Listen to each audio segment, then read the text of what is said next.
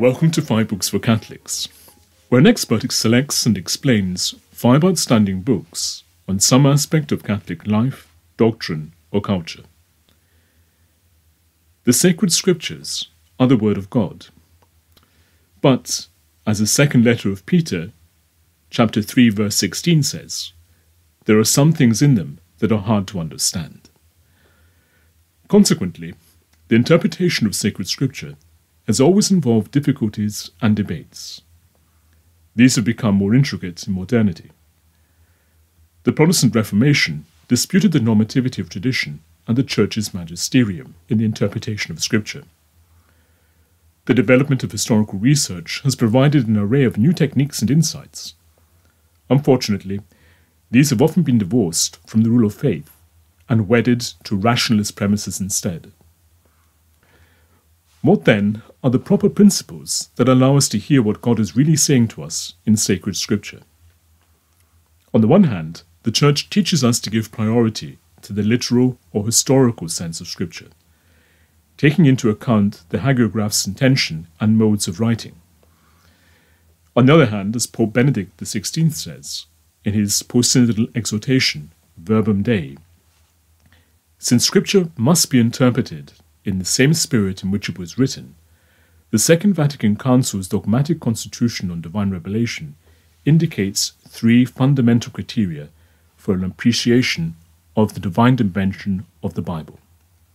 First, the text must be interpreted with attention to the unity of the whole of Scripture. Nowadays, this is called canonical exegesis. Second, account is to be taken of the living tradition of the whole Church, and finally, third, respect must be shown for the analogy of faith. In the first part of this interview, Professor Jeffrey L. Morrow discussed his pick of the five best books on the principles of biblical interpretation. In this second part of the interview, Professor Morrow discusses some further recommended readings and his own research.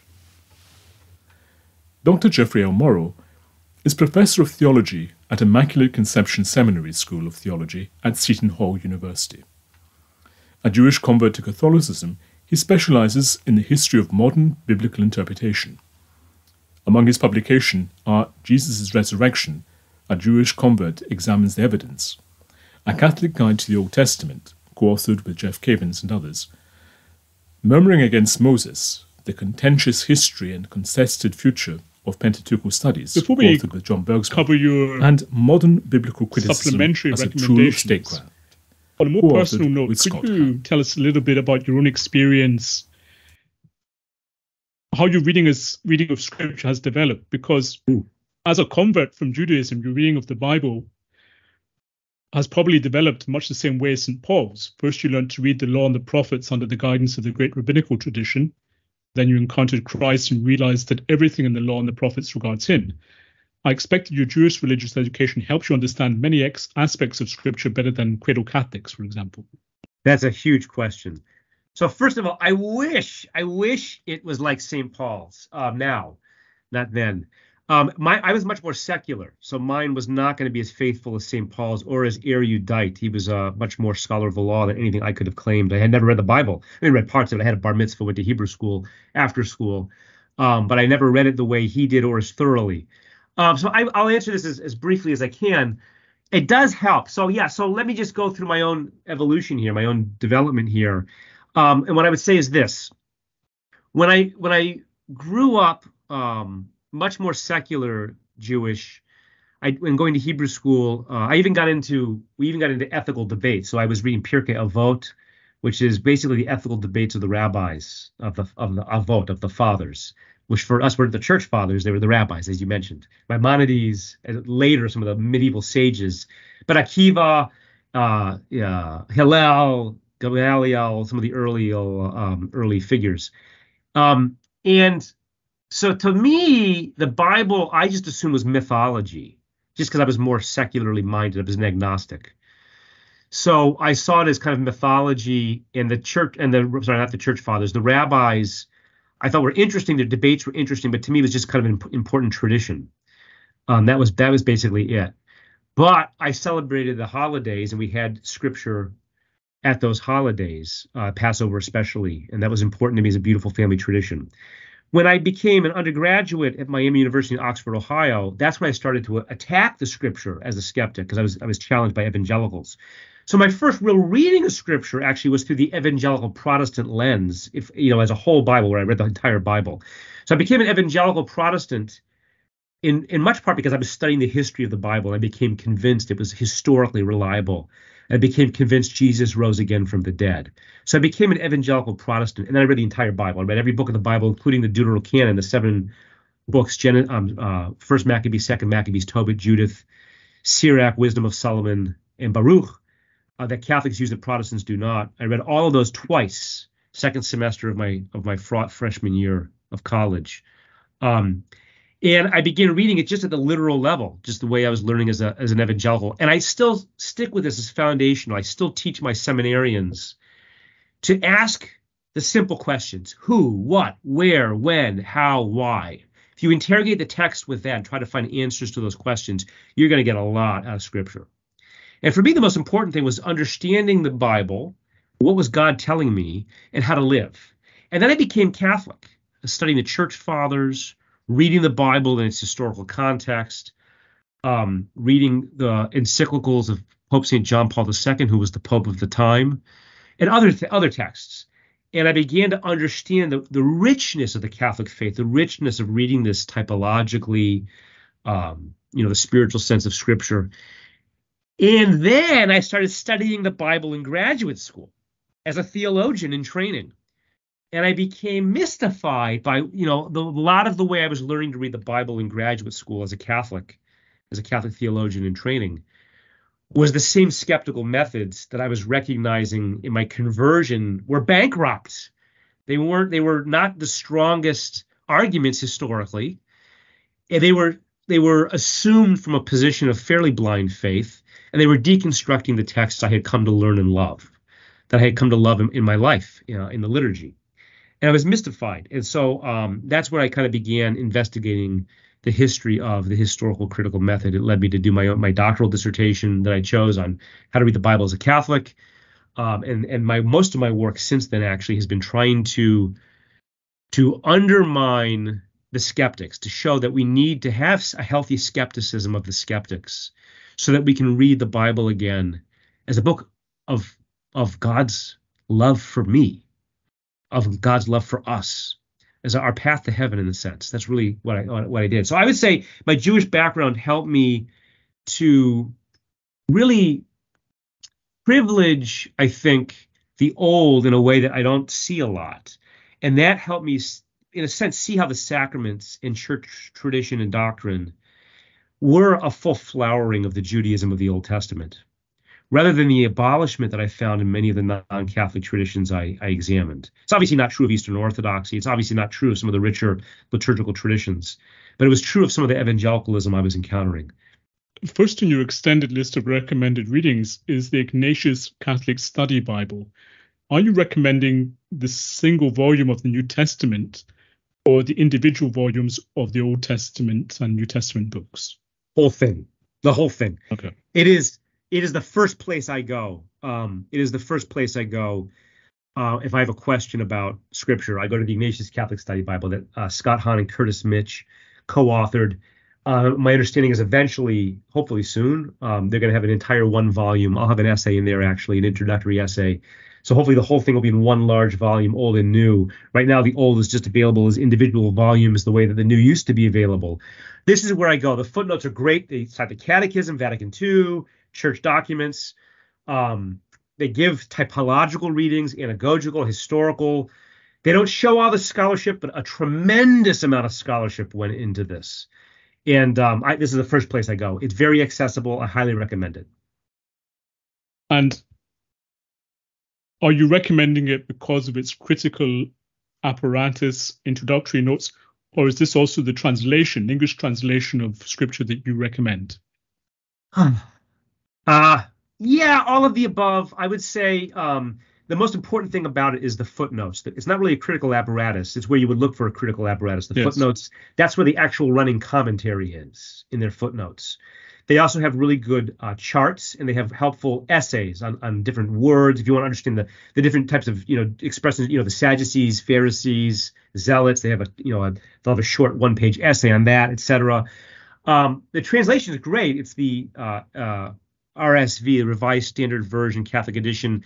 I will say, in my personal opinion, I've become a convert to the English Standard Version Catholic Edition, um, which it has everything that I love about the RSV Catholic Edition.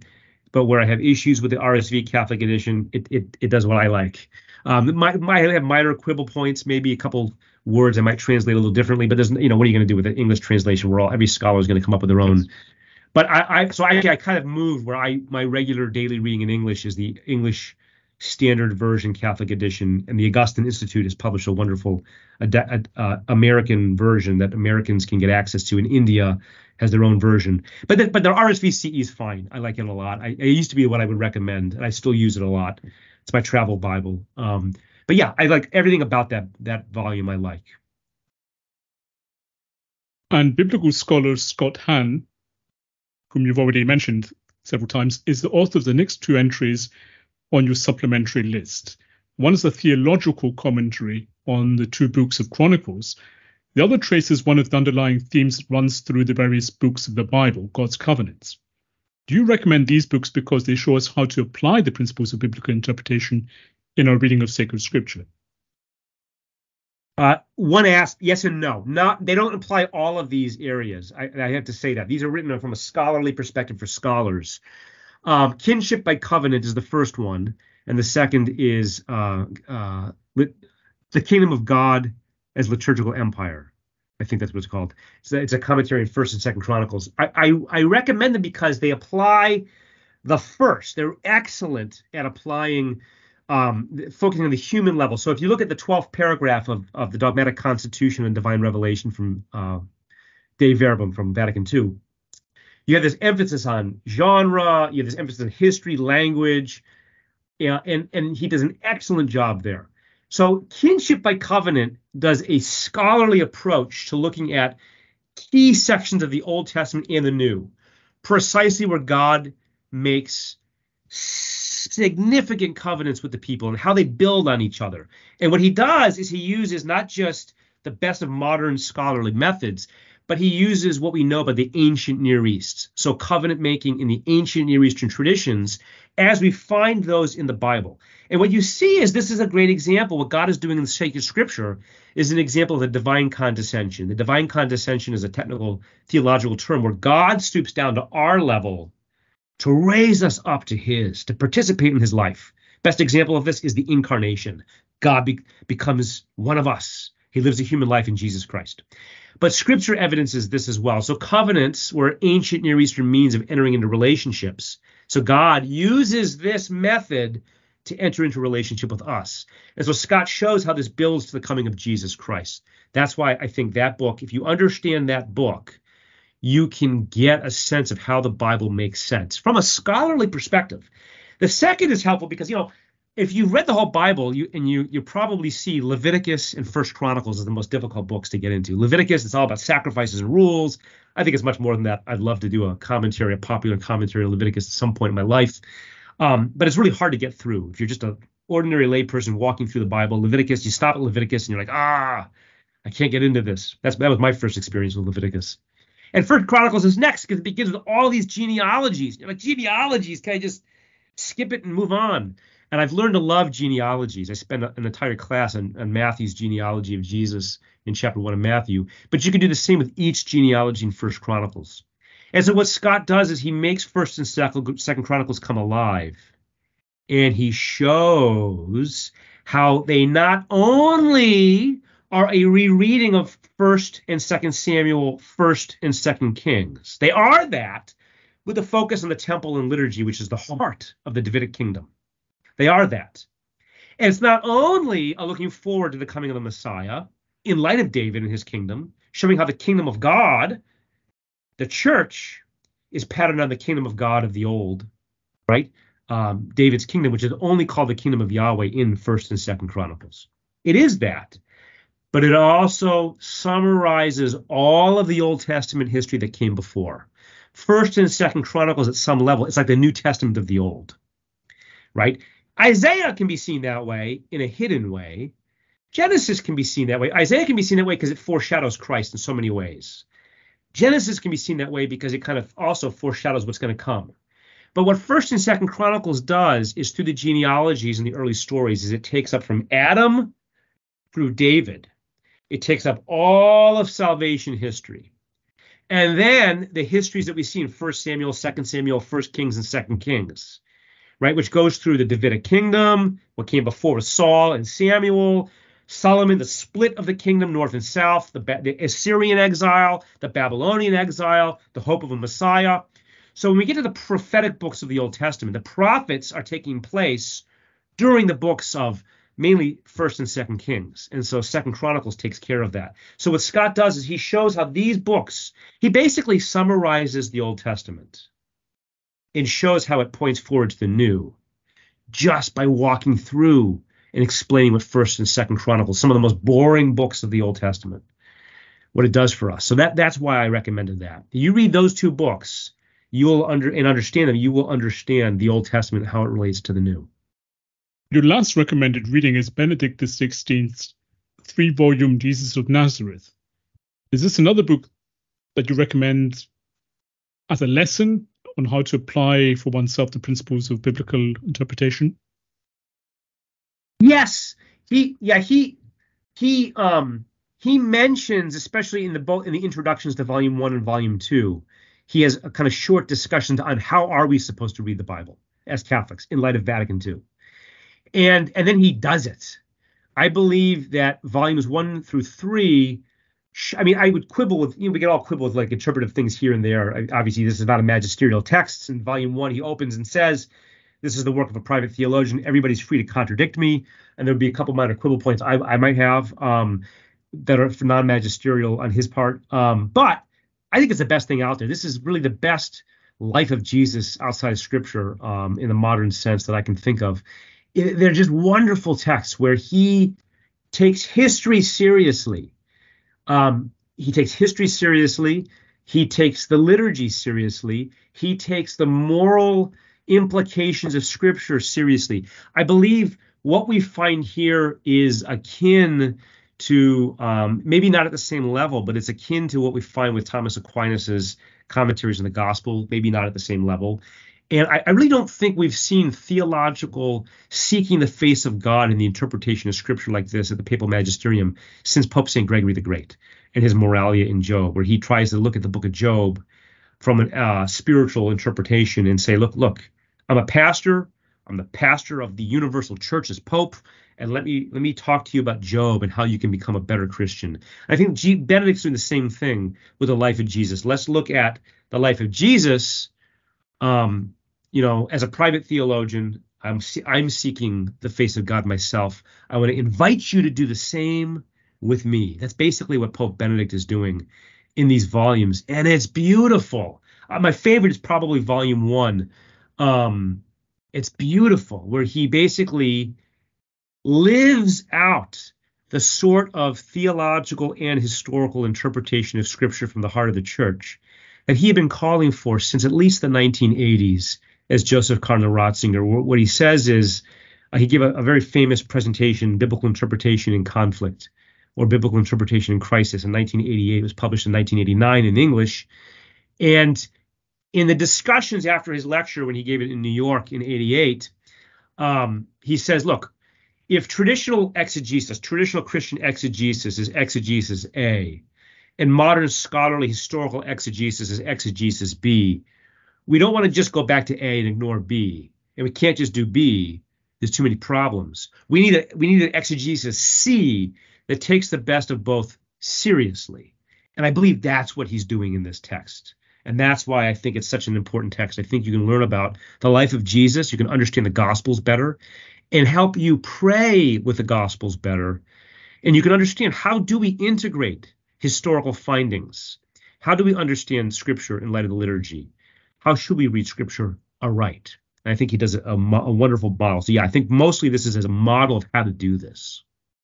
Dr. Morrow, thank you very much once again for taking us through your pick of the best books and the principles of biblical interpretation. Thank you. My pleasure. Thank you for having me. Thank you for listening. To read or listen to the rest of this interview and gain full access to our archive, visit 5booksforcatholics.com and become a premium subscriber. If you've enjoyed this episode, please subscribe to the podcast and give it a top rating on the platform of your choice. That way, more people can discover it. You can also support the podcast and help us produce more interviews like this one by making a one off donation via the link given in the show notes. As little as $1, £1, pound, or €1 euro can help and will be greatly appreciated. Thank you once again, and God bless.